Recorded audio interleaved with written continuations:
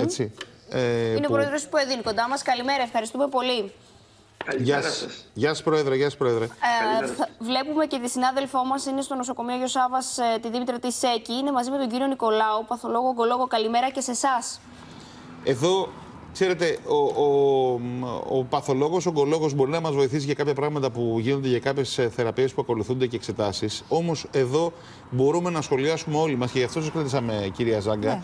Εδώ ο κύριος Γιαννάκος ανοίγει ένα θέμα που είναι, εγώ θα το πω έτσι με το δημοσιογραφικό κλισέ, γροθιά στο στομάχι του Αλήθεια. όλη της κοινωνίας μας. Δηλαδή, άνθρωποι που μπαίνουν στα νοσοκομεία, γίνονται καλά και δεν φεύγουν από τα νοσοκομεία γιατί δεν έχουν πού να πάνε, δεν έχουν κομμένο ρεύμα στο σπίτι, Δεν έχουν Παναγία. να δεν έχουν φάνε. να επιβιώσουν. Τι δύσκολο Ε, πράγμα. Κύριε Ελάτε, Γιαννάκο. κύριε Γιαννάκο, καλημέρα. Καλημέρα.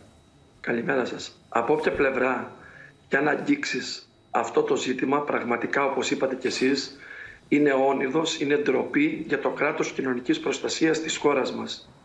Από την πλευρά των νοσοκομείων, που και το ένα κρεβάτι τώρα το χειμώνα με την έξαρση των ιώσεων που αναπτύσσουν δεκάδες ράτζα είναι πολύτιμο και καταλαμβάνεται από άτομα τα οποία δεν έχουν ανάγκη περίθαλψης επειδή δεν έχουν που να πάνε ή από την πλευρά των ατόμων αυτών που δεν έχουν στον ήλιο μοίρα που για να εξασφαλίσουν στέγη αλλά και φαγητό προτιμούν να μένουν στα νοσοκομεία αρνούνται να πάρουν εξιτήριο από το να βρεθούν στο δρόμο.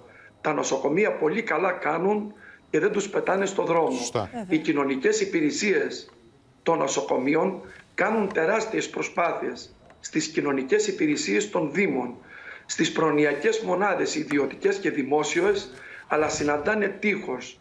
Δυστυχώς, οι ιδιωτικές μονάδες, οι προνοιακές, έχουν πολύ υψηλό α, μηνιαίο κόστος που δεν μπορούν να ανταποκριθούν αυτοί οι άνθρωποι που δεν έχουν σύνταξη, έχουν μικρή σύνταξη.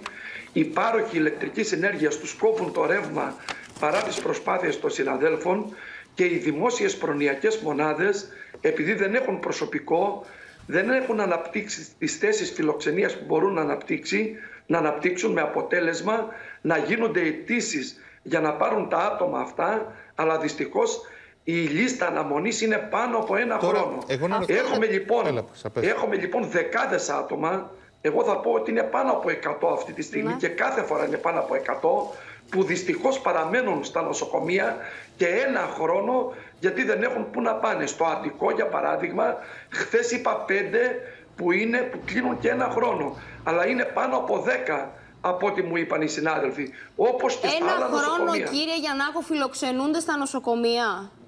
Ναι, έχουμε ασθενή από τον Μάρτιο του 2022. Τα- ε, από φοβερό τον αυτό, έτσι. Ιούνιο του 2022 Είναι οι τραγικό. γιατροί λένε να πάρει εξιτήριο, ο ίδιος αρνείται. Τι να κάνουν, να τον πετάξουν στον δρόμο, πολύ καλά Και κάνουν. πολύ καλά και δεν κάνετε. τον περνάνε Αλλά στον να σας δρόμο. πω κάτι.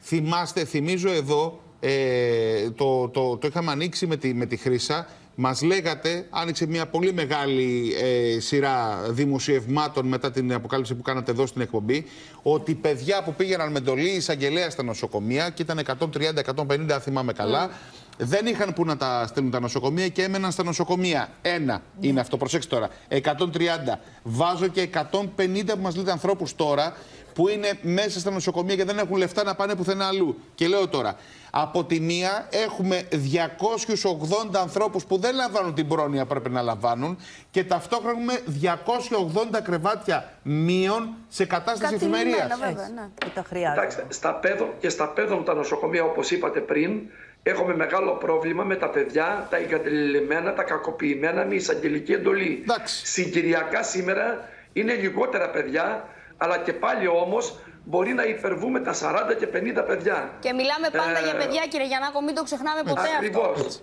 Που παραμένουν στα νοσοκομεία τα παιδιατρικά πολλούς μήνες γιατί δεν υπάρχουν θέσεις φιλοξενίας στις προνοιακές μονάδες Κύριε Ζάγκα, για να ένα προωθήσουν χρόνο μετά στο την νοσοκομείο. υιοθεσία Είναι ντροπή και την αυτό το αναδοχή. πράγμα, είναι Το ντροπή. ίδιο συμβαίνει Είναι ντροπή. και στους ενήλικες όπου εδώ δεν έχουμε θέσεις στα θεραπευτήρια χρονίων παθήσεων.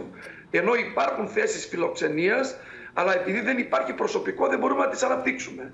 Μάλιστα. Μάλιστα. Τώρα που το Ε, οι, βγάλατε. οι προνοιακές Ναι. μονάδες να πούμε ανήκουν στο Υπουργείο Εργασίας.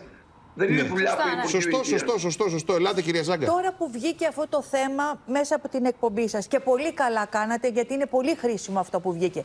Δεν πρέπει μέσα σε πέντε λεπτά να υπάρχει ενημέρωση και να πούνε τι θα κάνουνε; Έτσι θα πρέπει να γίνει, κυρία Ε, Ζάγκα. όχι, όχι. Αυτό είναι. Δηλαδή, δεν μπορώ να ακούω αυτές οι ψυχές να παραμένουν εκεί μέσα γιατί δεν έχουν να πάνε σπίτι τους, δεν έχουν να φάνε, δεν έχουν να ζεσταθούν. Μου θυμίζετε μία περίπτωση που είμαι σε τράπεζα και είναι ένας γέροντας και κάθεται και με βλέπει ότι ταλαιπωρούμε και έρχεται και μου δίνει το χαρτάκι του. Και λέω, Όχι, σας παρακαλώ πολύ, εγώ θα κάτσω.